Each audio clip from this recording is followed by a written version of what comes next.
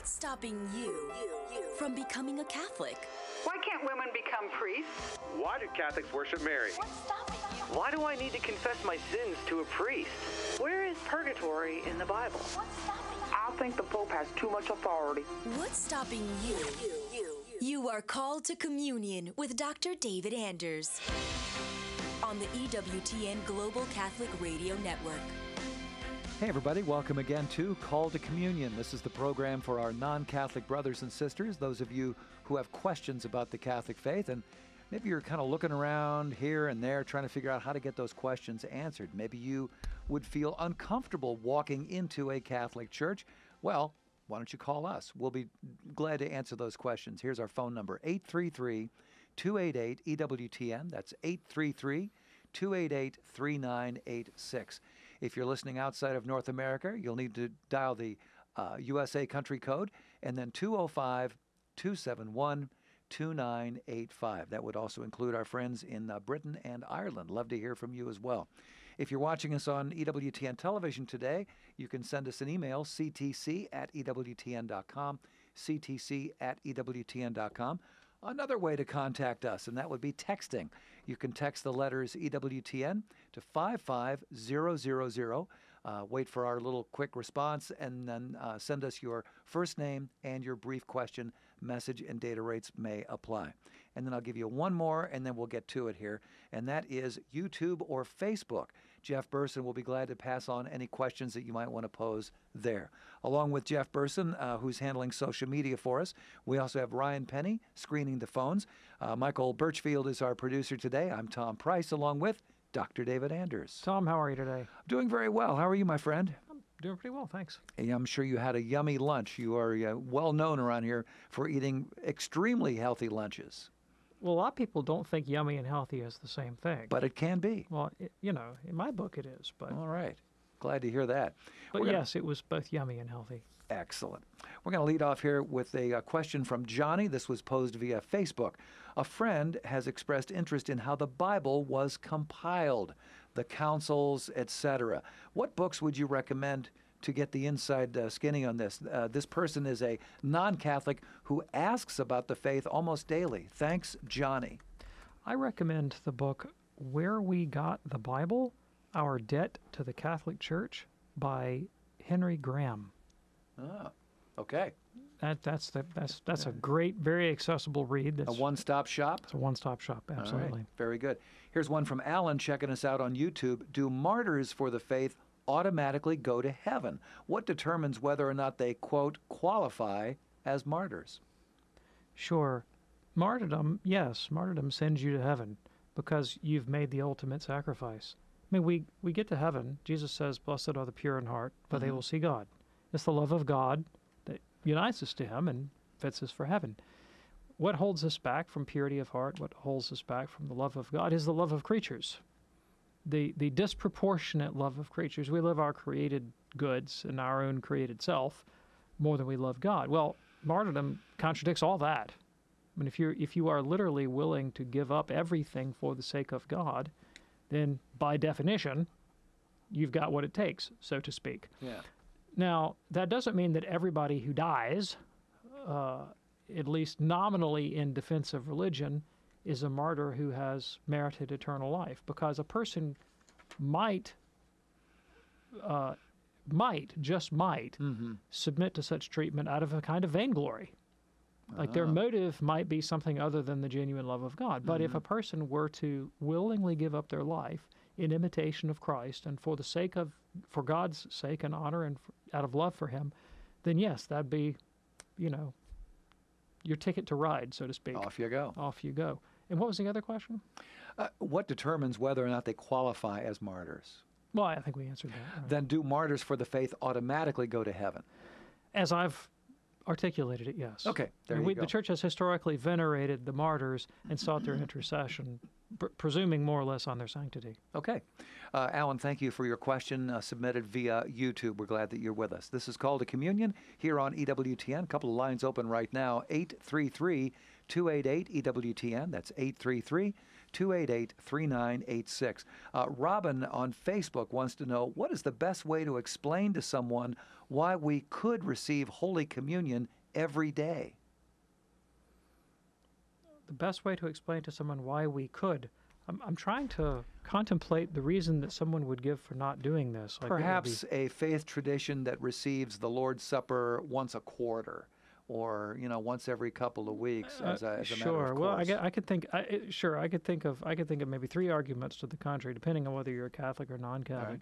There are some Catholics, and there have been movements in Catholic tradition down through the centuries that have opposed frequent communion. The Jansenists in France in the 18th century, for instance, were not big fans of frequent communion because they they had a an, an overly pessimistic view of human nature and and an o- overly rigorous view of what a holiness was required for a proper reception. So they they were Puritans basically, mm-hmm. and the church ruled that out a long time ago.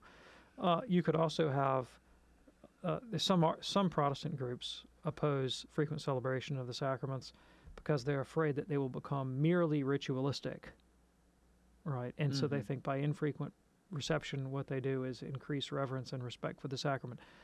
My experience in such a tradition proved the opposite. Infrequent, grossly infrequent reception of the sacraments typically inculcated the attitude that they're unimportant for my spiritual life. If I don't do them but once a quarter, they're not they're not they're not very uh, necessary for my daily walk. That was the that was the effect that I got from them. I think the proper response is the Catholic response. We're not obligated to receive communion on a daily basis, but communion, Holy Communion, is the sacrament of our abiding in Christ. If you eat my flesh and drink my blood, you abide in me. That's what Jesus says. It's Sure. the sacrament of our abiding in Christ. Every sacrament is a sign. It's more than a sign, but it's also a sign. Teaches us a truth that God wants us to know and then makes that truth real in our lives by the action of the Holy Spirit. What is the truth the sacrament of communion teaches us? That we must abide in Christ. Okay. Once a quarter? I don't think so. We need to abide in Christ always. That's right. Okay. I'm going to give you a softball here before we go to the break. Steve wants I'm to terrible know. at softball. Well, you might like this one. Okay. Uh, this is probably going to be a yes or no question, and I think I know how you're going to answer it. Steve says, Dr. David, do you believe that Jesus loves everyone with an everlasting love? I feel like this is a trick question. It is not a trick question. Yes, but not in the same way. Oh. We may have to uh, elaborate on that after the break then. We'll also be talking with Jeff in Fort Wayne, Bob in Center Valley, Pennsylvania, Alex in Fort Worth. One line open for you right now 833 288 EWTN. That's 833 288 3986. It's called a communion here on EWTN. Stay with us.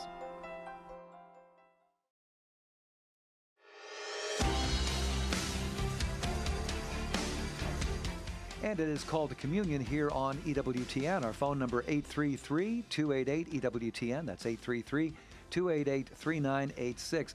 Uh, before the break, I thought I was throwing David a softball, but it, I guess it turned out to be a curveball. Uh, this was from Steve checking us out on YouTube, who says, Dr. David, do you believe that Jesus loves everyone with an everlasting love? And I thought the answer would be yes, but you're saying there's a qualification Well, I there. said yes, but with a qualification. All right. Sacred Scripture pretty clearly distinguishes those who have entered into a filial relationship with God through charity and mm-hmm. grace and those that have not. And God loves everyone and desires that they be saved. And to be saved means to come into a relationship of loving friendship with Christ. Mm-hmm. Jesus said, John 15, 15, I no longer call you servants but friends because I have shown you everything that I'm going to do. And that's what you do with a friend. You open up your heart, share it with them. Not everybody enjoys that intimacy of friendship with Jesus. And so it would be uh, it, would be false to suggest that Christ enjoys a relationship with the damned that is the exact equivalent of the relationship that he would enjoy with the blessed in heaven. In the damned, he loves that they are. He loves the the goodness of their created being, um, but he hates the fact that their wills are forever turned away from him in hatred. I see. Okay. Thank you for the distinction. And if you're ready now, let's go to the phones at 833 288 EWTN. We're going to begin with Jeff in Fort Wayne, Indiana, listening on Redeemer Radio. Hello, Jeff. What's on your mind today? Hello, uh, Dr. Anders. Can you explain what moral e- the moral moral equivalence argument is, and specifically, does the Catholic Church use that argument in its uh, defensive policies of, say, immigration? Thank you. I appreciate the question. Uh, moral equivalence, as I understand the term, is uh, is an argument that is sometimes uh, invoked in political debate to try to nullify an opposing political party's policy prescription on the ground that, well, you know, the, this position that you're taking is the moral equivalence of dot dot dot. Yeah. Fill in your favorite shibboleth, and it's really uh, it's a it's a kind of non sequitur. It's almost it's similar to the tu quoque objection. Like, how can you say don't do X because you do Y? You know, well, I mean, it doesn't matter if I do something that's wrong. It, it's irrelevant to the question of the truth of my affirmation. So, Sure. moral equivalence in that political context is may, might make for good rhetoric, but it's bad logic. Okay. Does the church invoke arguments of moral equivalence uh, in defense of or opposition to policy on immigration or some other, other issue? Well, the church as such almost never gets involved in questions of policy. Now, this or that bishop or this or that bishop's conference might issue statements on political policy. Uh, but the, the universal church doesn't teach dogmatically that this or that political policy is what has to be instantiated in a particular time and space in order for justice to be achieved. Very rarely. I mean, I can think, you know, an issue like the uh, the, the doctrine of uh, the right to religious liberty would be one where uh, we've got a conciliar statement on that from the Second Vatican Council saying that because of the dignity of the human person, nature of human freedom, and so forth, uh, people have to have the the freedom of action, the capacity to develop their relationship with God and have access to information about God and divine revelation and so forth. And constraints on that freedom are, are gross violations of human dignity. Uh, the right to life, you know, you can't kill people in the womb before they even have seen the light of day. But most of the time, the church is not teaching doctrinally on policy positions, and uh, and so it wouldn't invoke moral equivalence or any other moral principle to rule dogmatically about policy. There's room for Catholics to to be on different sides of a political issue when it comes to policy. There's no room for difference on the moral principles involved. Mm-hmm. We we have to we have to agree on the moral principles like the dignity of the human person, the uh, the the primacy, the priority of solidarity. We have to we have to identify with, especially with the poor in their plight, and seek to better their situation, as well as to seek the the common good of society. I mean, these are things that we have to all agree on. It doesn't mean we have to come to the same policy prescriptions oh, to implement those values in civil life. Very good. Jeff, thank you so much for your call. That opens up a line for you right now 833 288 EWTN. That's 833 288 3986. It's called a communion here on EWTN. We're going to go now to uh, Bob in Center Valley, Pennsylvania, listening on Sirius XM, channel 130. Hey there, Bob. What's on your mind today? Thank you for taking my call, Dr. Anders. Uh, my question concerns the Nicene Creed. In the very beginning, we refer to the Father as maker of heaven and earth, but in the next paragraph, referring to Jesus Christ, the Son, uh, as being the one through whom all things are made. What is the difference between the two? Thank you. I appreciate it. So, the Gospel of John, chapter 1, verse 3, speaking of the Word of God, who is God, who became incarnate in the person of Jesus, says of the Word that all things were made through him. And without him, nothing was made that has been made. Within the, the logic, if you will, the economy of the Blessed Trinity, theologians refer to the Father as the principle. The Father is the principle of the Blessed Trinity. What's a principle? That from which things proceed. And the Son proceeds from the Father by way of filiation, by way of generation. The Spirit, we had to make up a word for this because we didn't know how spirits proceed. The Spirit proceeds by way of spiration. The Son by filiation. Filiation, that's the filial relationship of Father to Son. Um, the Father is the source. He's the he is the principle of the Blessed Trinity, but all co-eternal uh, of one essence, the Blessed Trinity. And so uh, there's a sense in which we speak of, of God the Father as the creator of heaven and earth. Uh, but God does all of his activity in a triune manner. And when we get deep into the internal logic, the internal economy of the Blessed Trinity, we are, of course, dealing in mystery. But the metaphor that the church uses is drawn from sacred scripture that Christ is the Word. St. Thomas tells us that if we want to understand the relationship of father to son, the best analogy we can come up with would be the word or concept conceived by the intellect. You think about the intellect. The intellect is one thing. My, con- my intellect is one thing. My consciousness is one thing. And yet, I can, uh, from within that one unitary consciousness, I can, I can articulate an inner self concept, a concept of myself, if you will. Mm-hmm. That is at, at once at one with me, and yet uh, there's a distinction there. There's a distinction of relation between the intellect and the intellect's concept of itself thinking itself. St. Thomas says that's a good analogy for the relationship of father to son. Christ is the eternal word, as it were, proceeding from that divine intellect, which is the divine nature. Eternal, God always thinking himself, right? Coextensive, uh, of one essence, and yet a distinction of relation. And as as an art as an artisan would create in view of a concept that he formulated of the artifact that he wished to make. First, it's in the mind, and then it's in reality. Not in the, exactly the same way, but we can think analogously of Christ as the principle of rationality of the intelligible universe. So, God, the Father, who is the principle of the Trinity, articulating within himself eternally the divine word, which is the archetype, ar- archetype of the rationality of the intelligible universe, which is creation. We can see how this language about God, creator of heaven and earth, and Christ, through whom things are made, uh, is both derived from revelation and that from our own internal experience we can we can begin to grasp some weak analogy about the internal economy of the Blessed Trinity.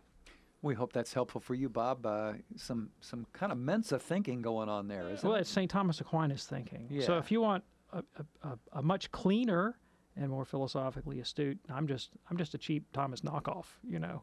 I would go to St. Thomas and the Prima Pars of the Summa Theologica. Appreciate your call there, Bob. This is Call to Communion here on EWTN. We go now to Alex in Fort Worth, listening on Guadalupe Radio. Hey there, Alex. What's on your mind today?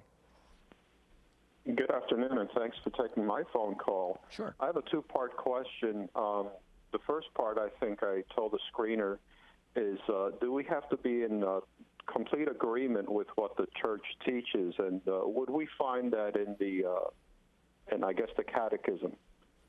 Thank you. Appreciate the question.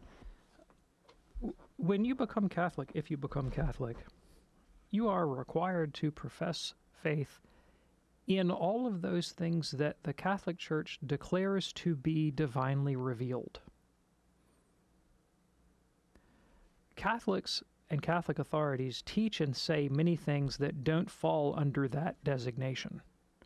I have to believe everything that the Catholic Church declares to be revealed by God.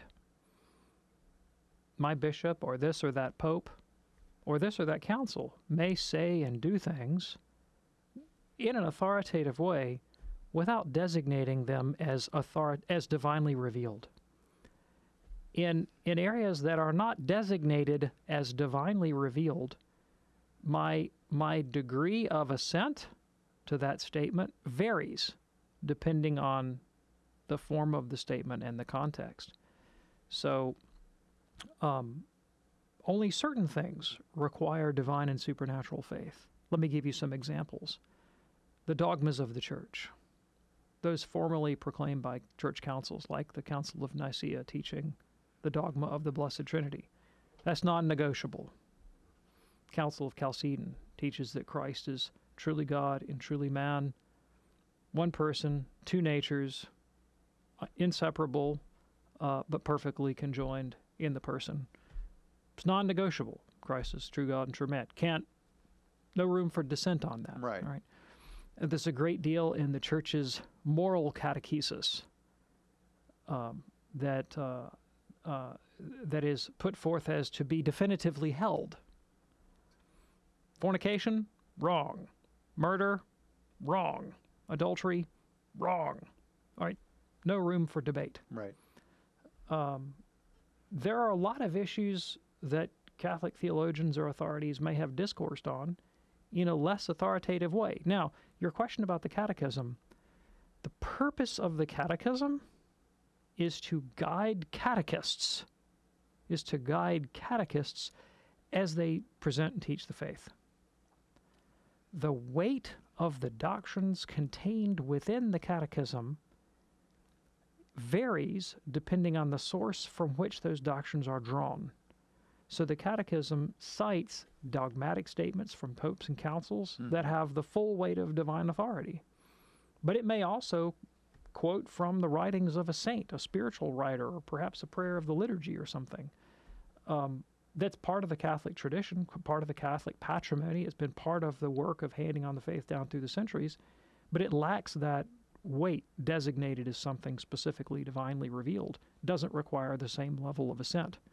What that means is that the Catechism is by itself not a sufficient guide. It is not a one stop shop for everything you could ever possibly want to know about the Catholic faith, answering every question. We are not catechism fundamentalists. Mm. It is a very useful book, it is a very beautiful book, and it is a very edifying book, and it is a sure guide to the heart and mind and teaching of the Catholic Church. But it's not that. It's not it's not the comprehensive manual on all things Catholic. The comprehensive manual on all things Catholic just is the universal church. Comprehensive of the teaching of popes, councils, and sacred tradition down through the centuries. What that means is it's not a solo sport. Mm. Like there's not a step into the you, you you it's not you can't say give me the manual. I'll go off in my room and study it and learn how to be a Catholic and know everything there is to know. It doesn't work that way. The process of becoming a Catholic is the process of entering into a family, into a tradition, into a community of discourse, into a into a into a moral formation, into a stream of spiritual development, and surrendering myself to that stream and and there with my brothers and sisters and fathers and mothers in the faith down for 2000 years entrusting myself to the action of the holy spirit through the body of the catholic faithful. And uh, of which the catechism is a useful part but not the be all and end all okay. Alex thank you so much for your call. Call to communion in progress here on ewtn andrea has a, a question she just posted on facebook. Were moses enoch and elijah taken into heaven bodily Sure. Thank you. So they uh, Moses was not. Moses was buried. Okay. Um, the sacred text says Moses was buried by God Himself. Only God knows where his bones are. Um, Enoch was taken away. Elijah taken up in a whirlwind and a chariot of fire. Um, and uh, and so beyond that, they sort of vanish from view. We know from the doctrine of Christ's descent into hell that the beatific vision that full admission to the blessedness of heaven and the angels is not open to the human race until the ascension of Christ. So, what precisely is the status of the physical body of Enoch and Elijah prior to the ascension of Christ? Gosh, that's kind of a stumper, isn't it? That's a good one. You know, yeah. that's a good one. Um, presumably, uh, they had some experience of the limbus of the fathers, that that uh, Abraham's bosom, that pl- that abode of rest and natural delight as they awaited the coming of the righteous one.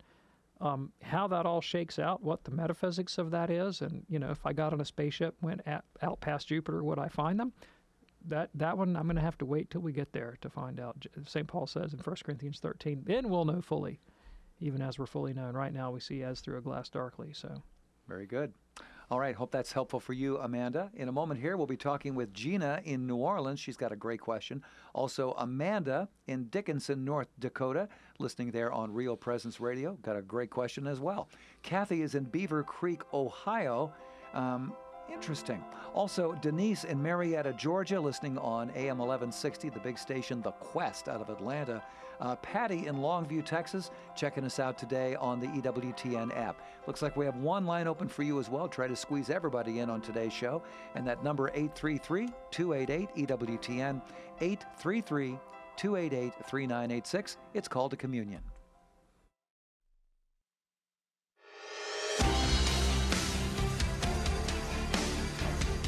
Glad you're with us here on Call to Communion on EWTN. Let's get right back to the phones. We are uh, pretty much sold out on the phones, so we'll uh, get back to it here with Kathy in Beavercreek, Ohio, listening on Sacred Heart Radio. Hey, Kathy, what's on your mind today? Hello, thank you. I'm wondering where the two names of Jesus, Rose of Sharon and Lily of the Valley, came from. Thank you. In the biblical book, The Song of Solomon, these terms are uh, used to apply to the, the, the woman who is the, the lover of, would seem to be, of the sacred writer or the shepherd who's, who's uh, depicted there. But the fathers of the church and medieval theologians understood the Song of Solomon to be an allegory about the the soul in its love affair with God and Christ, or alternately with uh, uh, with the church and and its uh, bridegroom, who is Jesus.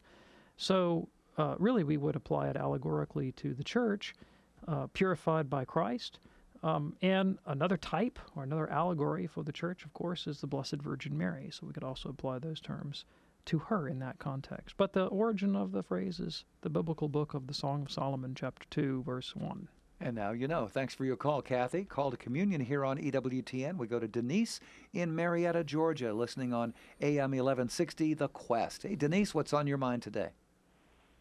Um, in the book of Luke, um, it says um, when when Jesus is presented in the temple, um, Simeon is talking to Mary, and he says, "So that, um, and you too will be a sign that will be, oh no, he will be assigned to be contradicted."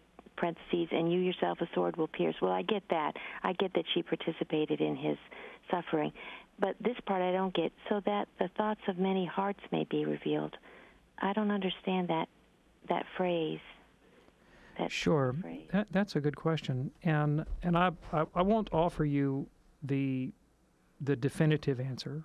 Right, I'm not going to give you the definitive answer. And anytime somebody asks me, what does this particular verse of the Bible mean? I can give you my best guess at the moment, but if I had time, I would go consult the consensus of the fathers. And I, I don't have the consensus of the fathers on every biblical verse memorized. I'm sorry, you know, but that's the way I would do it. I would Okay. start with common sense, and then I would go into the patristic commentaries and into St. Thomas's commentaries and things like this. Well, obviously, the the, the, the sword piercing the soul of the Blessed Virgin is her solidarity with the suffering of her son when he dies on the cross. And uh, any mother would sympathize immediately. The idea, imagine you're 12 and a half years old and you're betrothed to a guy who's 90. You've taken a vow of virginity. An angel pops up and says you're going to give birth to the Messiah. And uh, it's not going to go well for him. And uh, people are going to hate him. He's going to be a sign of contradiction, despised by the nation. He's going to be put to death that's not going to be any party. It's a lot to wrap your head right, around. Right, and you're gonna you're gonna participate in this. Mm. You know, and if if Mary is full of grace, and that means she's full of charity, and you know, a, a deeply charitable and empathetic soul suffers more than one that's selfish. Yeah. In the suffering of another, suffers more in the suffering. And that's pr- precisely what empathy enables us to do: Mhm. is to feel somebody else's pains as if they were our own. It's one of the reasons that Jesus suffered more than any other man because he, he literally entered into solidarity with the human race and the sufferings of the human race. So that the thoughts of uh, well, many will be revealed. Well, isn't that isn't that entailed in the uh, the whole meaning of redemption? That and the judgment, and the judgment, the final judgment is going to bear openly the thoughts of many. God will be vindicated in the righteous, and he'll be justified in the wicked as he says, Blessed are you who have done the will of my Father, fed the hungry, clothed the naked, and so forth, enter into the reward of your master, the glory of your master. You folks that hadn't done these things, off you go. And so there'll be rejoicing and there'll be weeping and gnashing of teeth.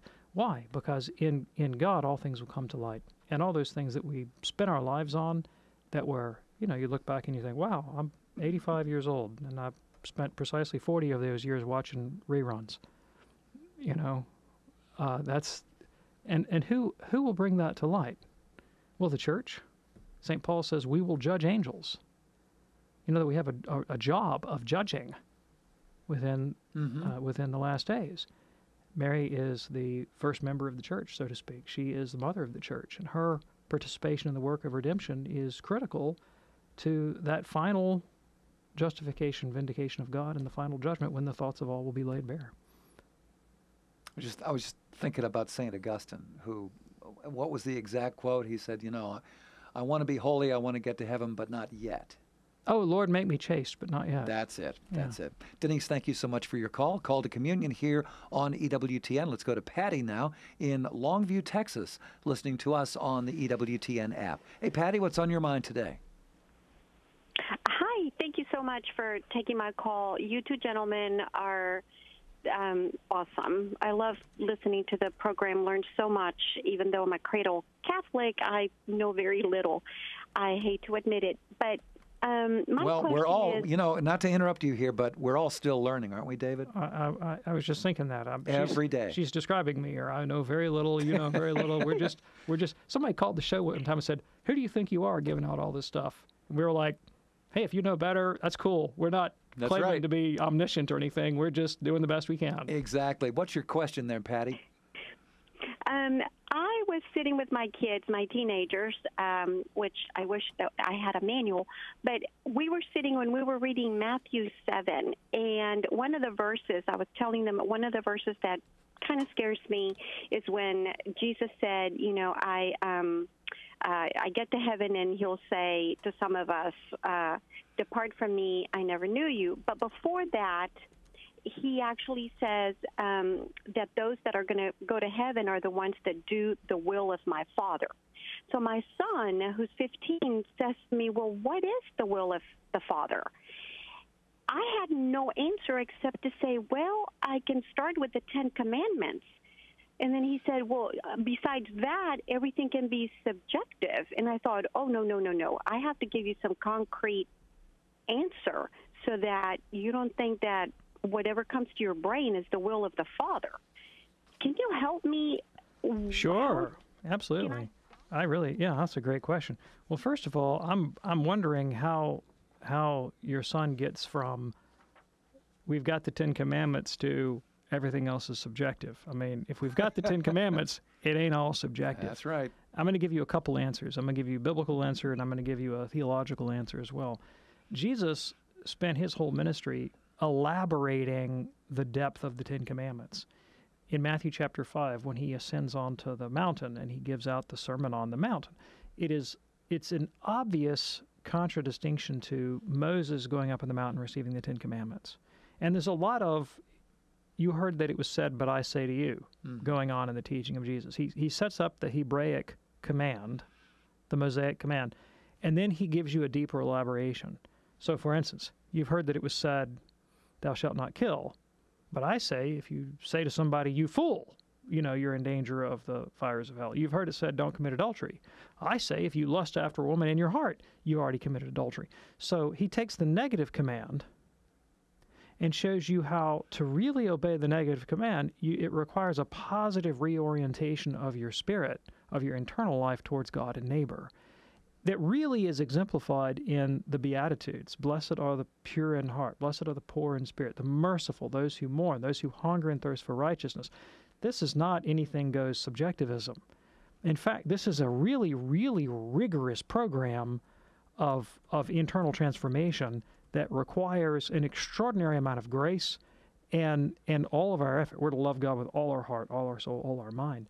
St. Peter, um, his epistle, uh, 2 Peter chapter 1, says that we have become participants in the divine nature, all right, so that we can escape the corruption in the world due to evil desires. Therefore, he says, you've got this imprint of the divine nature on your soul. Therefore, add to your faith.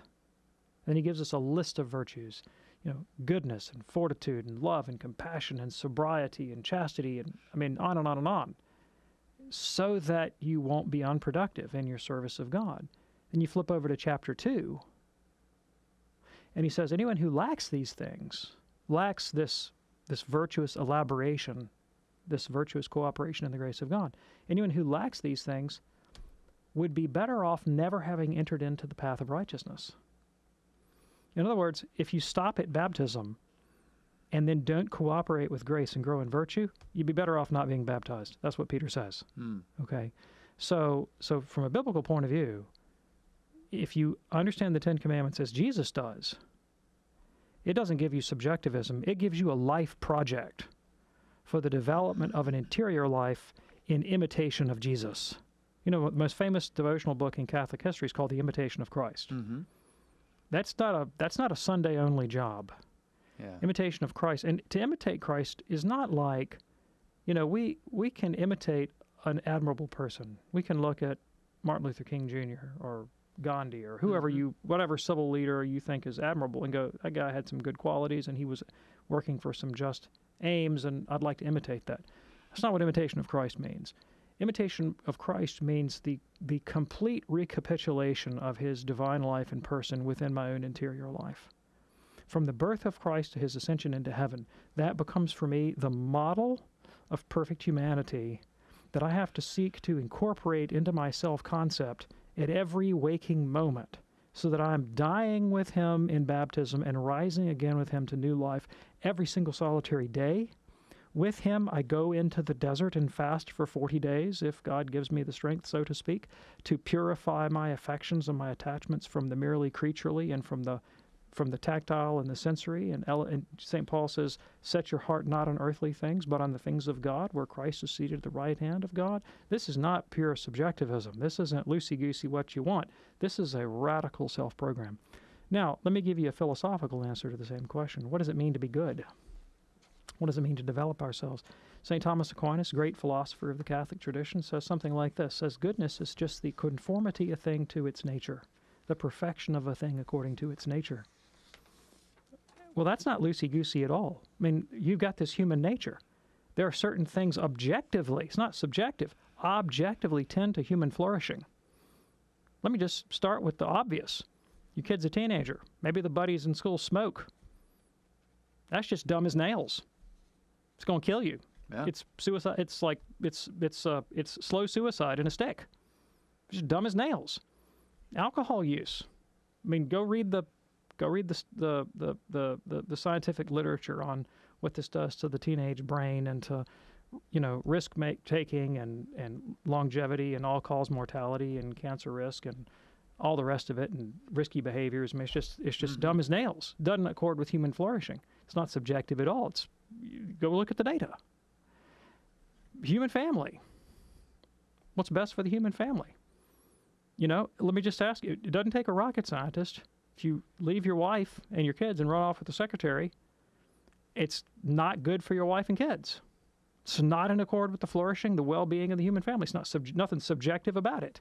It's as ob- just as objective as the nose on your face. What about the human soul? What's the human soul created for? For knowledge?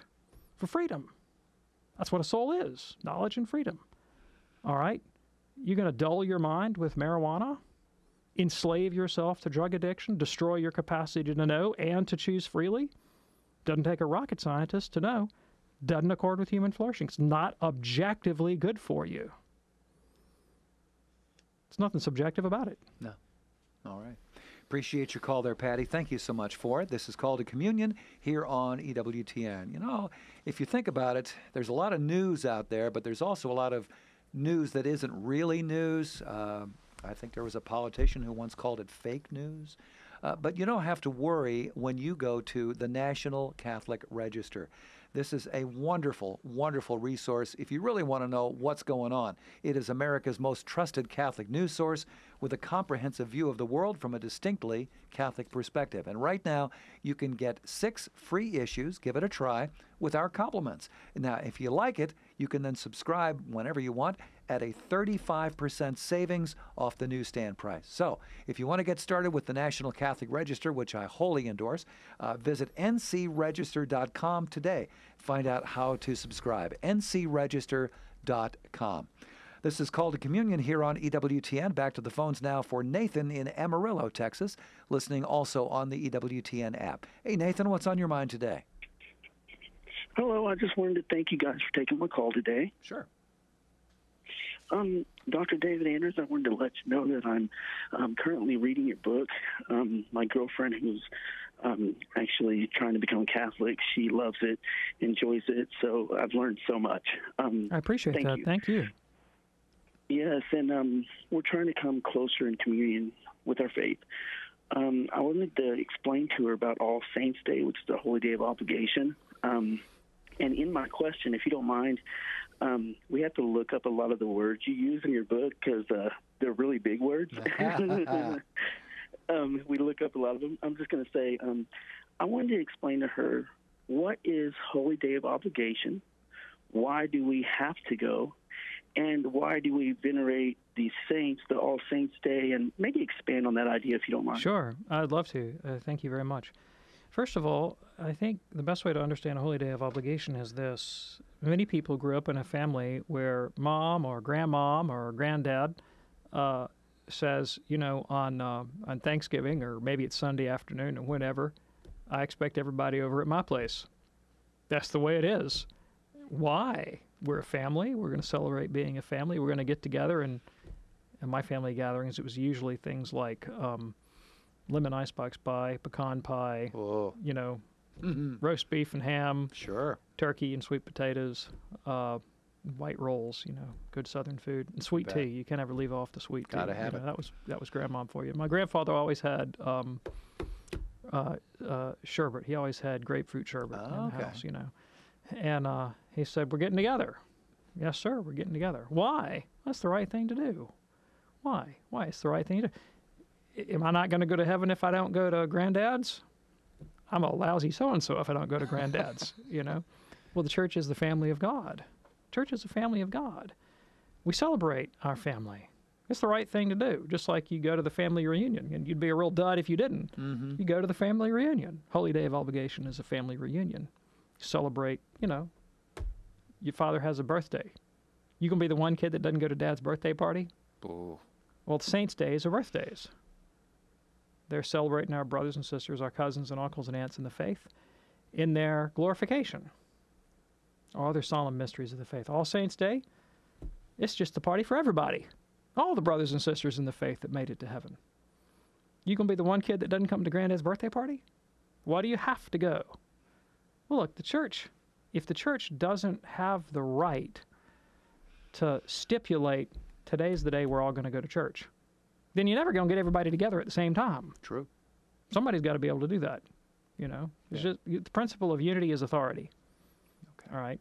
It's not the be all and end all of the Christian life. Charity is the be all and end all of the Christian life. But if you can't even be bothered to go to granddad's birthday party, I mean, how charitable are you, right? Yeah. Now, why do we pray to the saints? Why do we venerate the saints? Simple. They're praying for us. They're united to God in charity. Right? That we know that those united to God in charity, their prayers are more powerful. St. James says the prayer of a righteous man availeth much. And he goes on to say, You folks aren't getting what you're praying for because you're asking with wrong motives. The saints don't have any wrong motives. They only will the will of God. They're perfectly united to God in charity. So their prayers are the most efficacious. We ask our brothers and sisters in this life to pray for us, and they're the ones who aren't perfected in charity. How much more are we going to ask our brothers and sisters in heaven? And in fact, it's a biblical practice. Look at Revelation chapter 5, verse 8, Revelation chapter 8, verse 3, T- Tobit chapter 12, 2nd Maccabees chapter 15, uh, 2nd Kings chapter 13. Lots of passages of Scripture where we see the saints or their relics being efficacious and advancing the prayers of those on earth before the throne of God. So it's a very biblical practice. The church's been doing it for 2,000 years. It's embedded in sacred tradition taught by the church's magisterium. What more do you want? It's good sense, it's love, it's brotherly fellowship, it's communion in the body of Christ. It's taught in the Bible, it's taught by the church, it's handed down by sacred tradition, and there's no good reason not to do it. Yeah. You know, so for all those reasons, we ask the saints for their prayers. And uh, regarding the holy days of, of obligation, in our family, we refer to them as the holy days of opportunity. Holy days of opportunity. We get to go. Right. Nathan, thank you so much for your call. Call to Communion in Progress here on EWTN. Gina is in New Orleans listening on Catholic Community Radio. Hey, Gina, what's on your mind today?